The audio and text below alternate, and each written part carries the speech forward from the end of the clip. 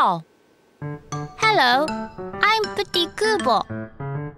See, I'm much smaller than my daddy. So, my family can carry me around anywhere. When she's working and when she's just chilling, I can always comfort her with my tail.